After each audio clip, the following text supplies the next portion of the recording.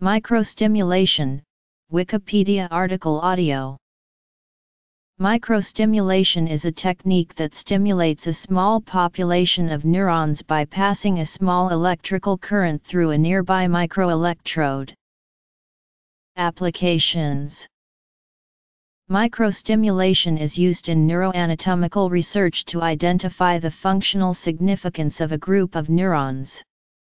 For example, Vidal Gonzalez et al. applied microstimulation to the rat prelimbic and infralimbic subregions of the medial prefrontal cortex while testing the subjects in a fear-inducing low foot shock condition for various behavioral indicators of fear.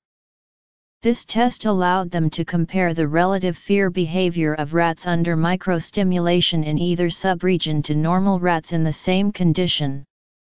The researchers concluded that the prelimbic subregion excites fear behavior while the infralimbic subregion inhibits fear behavior. In this instance, the correlation between stimulation and behavior helped identify the function of these two subregions in the process of fear. Microstimulation is being explored as a method to deliver sensory percepts to circumvent damaged sensory receptors or pathways. For example, stimulation of primary visual cortex create phosphenes which can be used to restore some vision for a blind individual.